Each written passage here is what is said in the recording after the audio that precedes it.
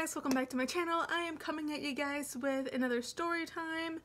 I'm wearing this hat. It's really cold outside and I just went out to run some errands and uh, it left like marks on my forehead so I'm just gonna keep it on for this video. Uh, so yeah, that's a disclaimer of why I'm wearing this hoodie and excuse this mess back here. I'm packing up to go back to school still.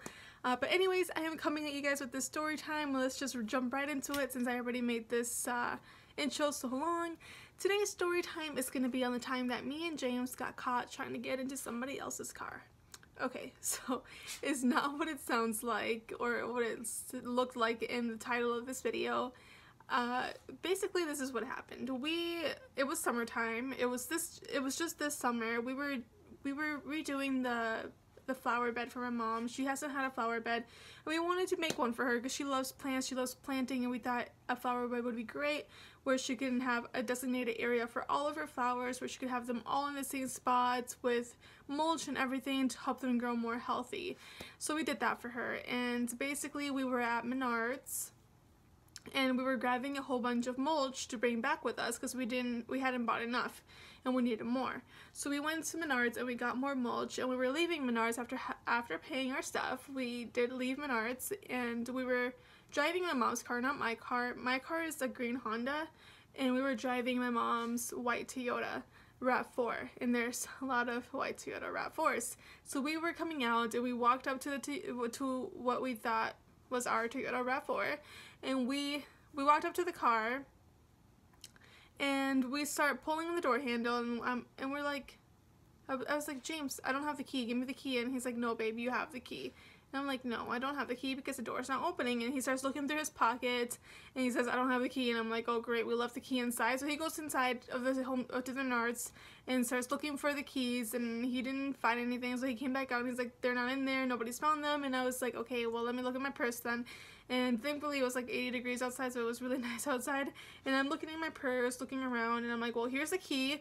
I grab the key, and he's like, see, babe, I told you so. So I grab the key, and I start trying to pull the door handle again. I'm like, why isn't this door handle working? Is Or the key is not working, or what? Like, what's happening? Is this door, is this key dead? So I press the button just to turn it on and I hear a beeping sound and I was like, why? Okay, so I pull the door handle and nothing's happening. It's still not, it's, it's still not opening. So I press it again and then the door finally opens and I was like, okay, I get into the car and I try to turn it on and then open the, the door uh, up in the back and I tried turning on the car and it wasn't turning on and I was like, what is going on with this car? Like, why isn't anything working right now? And I'm pressing the button and I tell James, I'm like, James, the car isn't turning on and he comes into the car and he like puts it into neutral and everything. Like he starts trying to figure out how to turn it on and it doesn't turn on. And then I get I'm like okay let me let me get back in here again. I and I get into the seat again and then I realized that something felt really weird. It felt different inside of the car. So I look in the car seat next to me and I look in the car seat in the car seats behind me and I was like this isn't our car. And I told James I'm like James this is not our car. This isn't our car. Like we need to get out of here. And he's like what? I'm like this is not our car.